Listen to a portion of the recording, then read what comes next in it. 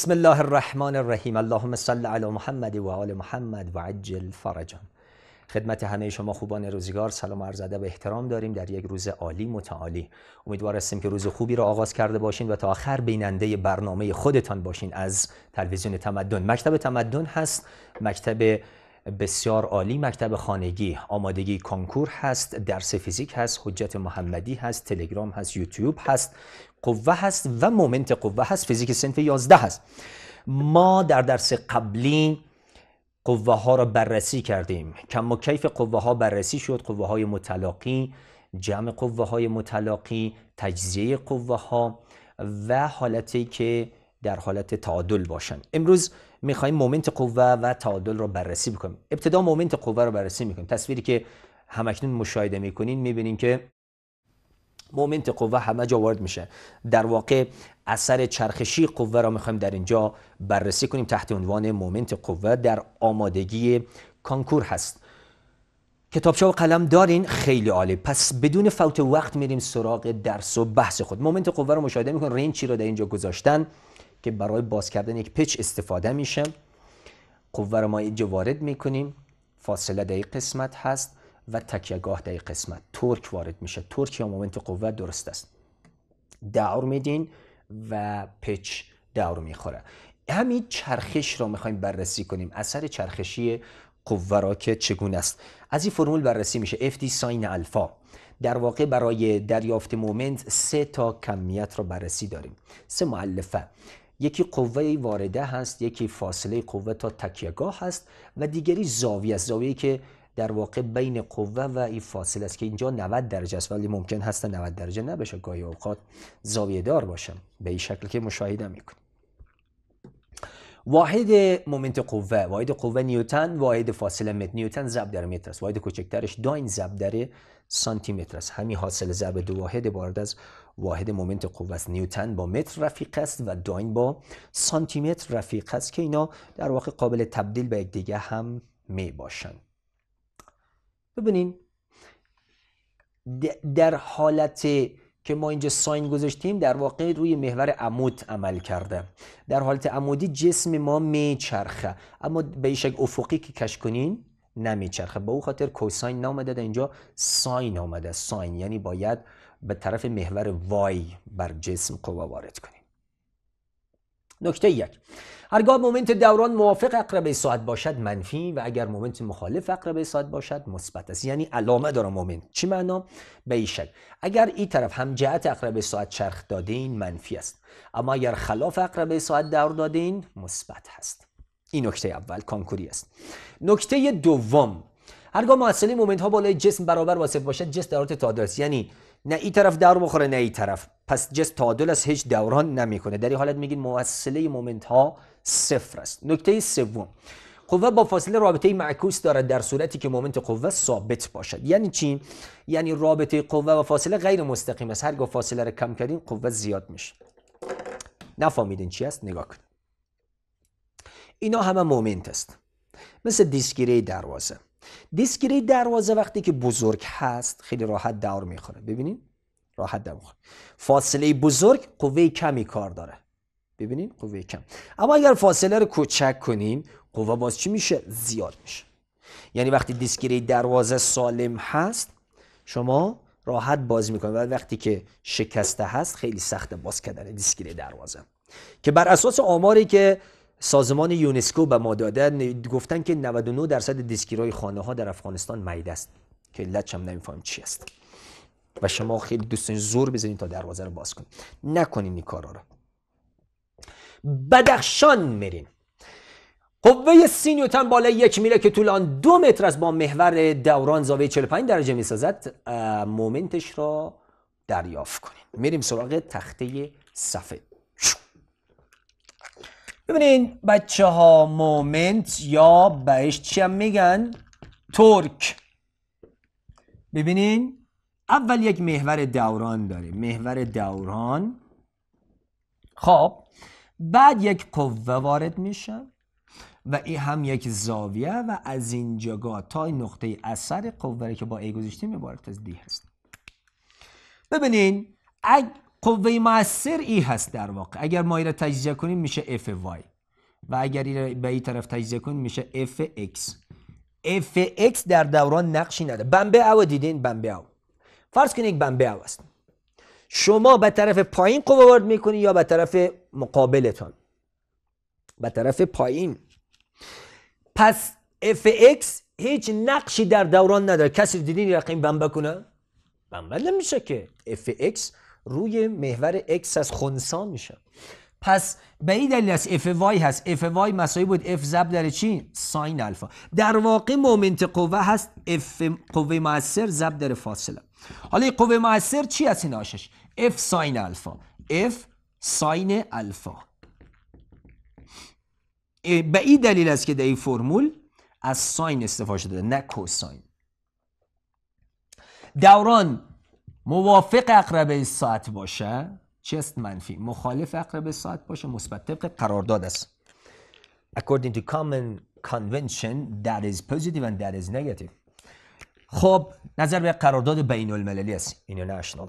خب حالا این تحلیل ها رو شما فهمیدین. بدخشان یک سوال آمده بود. گفته بود که قوه سی نیوتن چند نیوتن؟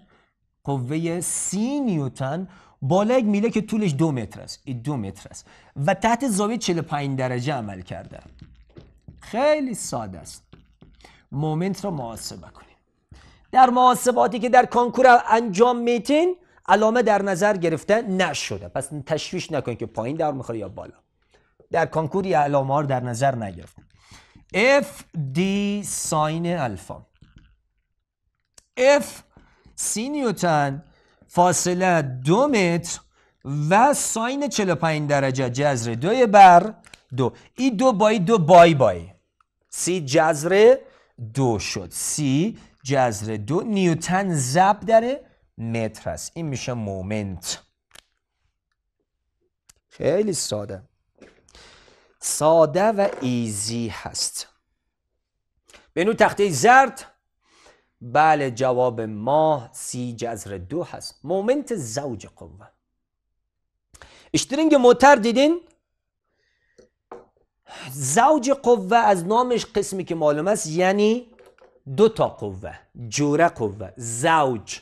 مثلا میگن یک زوج جوان مهمان برنامه امروز ما هستن.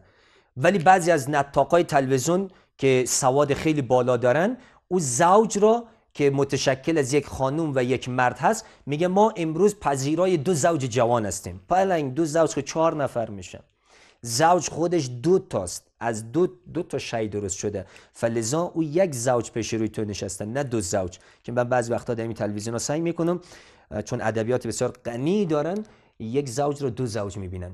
خب زوج قوه. شرط داره. شرطش هسته که باید مخالف الجهت باشن. یعنی یکی پایین یکی بالا. اینطوری باشه تا چی به وجود بیایه؟ تا دوران به وجود بیایه. مثل اشترینگ موتر مثل شیرفلکه که باز مثل مثلا می شاخ بایسیکل تا موترسیکل تا این میشه زوج قوه. قسمی که شما در تصویر مشاهده میفرمایید یک قوه بالا یک قوه پایین. چون اینجا دوران به وجود آمده اثر چرخشی قوه که مومنت نام داره رو می‌خوایم بررسی کنیم. یکی بالا یک پایین. این دو قوه مساوی مخالف الجهت و موازی هستند. از رابطه FL پیدا میشه. L چی است؟ در رابطه فرق L فاصله بین دو قوه است. از این قوه تا این قوه. فاصله بین دو قوه رو میگن. مثال دو قوه مساوی که اندازه هر یک 40 نیوتن است. به اشترینگ یک موتر توسط دستهای راننده وارد می‌شد. اشترینگ خب می‌فهمید چه است اصلا کلمه انگلیسی است که به نام steering یاد میشه. steering چون این مردم دانشان نمی‌تونم چی انداخته داخلش پر است با زور steering تلفظ می‌کنن. یا همون steering یک موتر هست. توسط دستهای راننده وارد میشه. اگر شعای استرینگ من چیزی ننداختم من به شما میگین تلفظ می‌کنم. همین استرینگ صفرش سه متر باشد مومنت دوران رو محاسبه کنید. That's very good. Easy. ما گفتیم شعا شعا صفر سه. وقتی شما یک دایره را در نظر می‌گیرین شعا از این وسط است دیگه. از اینجا تا اینجا دو شعا میشه. پس باید شعا رو در دو کنینی تا فاصله از این قوه تا این قوه پیدا بشه. ولی اگر قطر دایره رو می‌گفت مشکل این شعای اشترینگ را گفته یعنی تا اینجا رو گفته. 0.3 یم 0.3 میشه 0.6 پس در اینجا ما میگیم که دی مساوی دو آر 0.6 متر خب فرمول داریم دیگه. F زب در دی. F 40 نیوتن 0.6 مساوی میشه و چند؟ اگر گفتین صفر با صفر خلاص 4 6 24 نیوتن. خیلی عالی بود. درود بر شما. مرکز سقل سقل اول ترجمه کنیم چی است؟ سقل یعنی سقیل البته سقل یعنی سنگین. سقل یعنی سنگین. مثلا میگه خیلی غذایی که خوردیم سقیل بود. قابل هضم نبود. سقیل مثل جر سقیل جر سقیل میاد اجسام سنگین را بار می‌کنه. یا مثلا میگن حدیث سقلین خب برسر نقطه ای که تصور می شود تمام وزن جسم در اون نقطه متمرکز و جاذبه زمین به صورت متوسط بالای آن نقطه عمل می‌داد. هر جسم یک مرکز سقل داره. حتی این اشارهگری که دستم است. بش من مرکز سقلش پیدا کنم عملی دید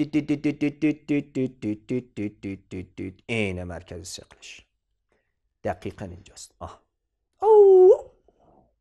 از این کارام بلد ما فکر نکنیم بلد نیست پس در یک جایی که جسم تکیه می‌کنه میشه مرکز سقل هم ببینید هر جسم یک مرکز سقل داره که او وقتی جسم در اون نقطه تکیه می‌کنه دیگه تکان نمی‌خوره ولی اگر من در مرکز سقل تکیهگار قرار ندم دوران به وجود میه پس مرکز سقل نقطه است تصوری در جسم حتما نیست داخل جسم باشه. بیرون جسم هم می‌تونه باشه. گفتیم به به. چه تصاویری؟ چه تصویر خوبی. او تصاویرهایی که می برای شما نشان میدم به خاطر است که درس خوب بفهمید نکته جالب. مرکز سقل یا کتله می‌تونه داخل یا خارج از بدن انسان باشه. پیشتر دیدین؟ مثلا مردکه بچه رو گذاشت روی سر خب مرکز سقلش آمدادیم بالا. بعد یک بیگی برگذاشته مرکز سقلش آمدادی طرف. حالا این به یک حالتی قرار گرفته که مرکز سقل از بدن آمده بیرون. اینی نقطه مرکز سقل است. خیلی جالب است نه؟ چرا؟ چون ببینید آمده پاها آمده پایین دست آمده کتله آمده به این طرف. مقداری از کتله به این طرف به این طرف مرکز سقل بیرون از بدن آورده. این مرکز سقل برای تعادل خیلی مهم است. این مرکز سقل برای ایجاد تعادل خوب است.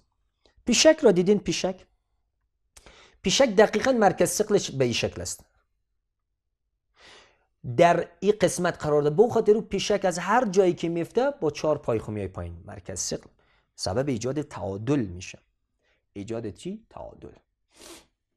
تعادل حالتی که محصله قوا مومنت والده بالای جسم برابر با صفر باشد. تعادل دو شرط داره در کانکور گفتن. یک محصله قوه ها صفر باشد. دو مومنت قوه صفر باشه مومنت که صفر باشه جسم دیگه دور نمی‌خوره. بالانس است اصطلاحا. بالانسش کردیم. و محصله قوه هم صفر باشه. یعنی چی؟ یعنی قوه های پایین با قوه های بالا چی باشه؟ مثلا مردکه با دو دست خود قوه وارد کرده در مقابل وزن میله. این این جسم الان دیگه در حالت تعادل است. نه دوران می‌کنه و نه بالا و پایین میره. قوه تعادل انتقالی داره. خوب یاد بگیرین. تعادل انتقالی یعنی اگر قوه وارد کنین جسم میاد بالا.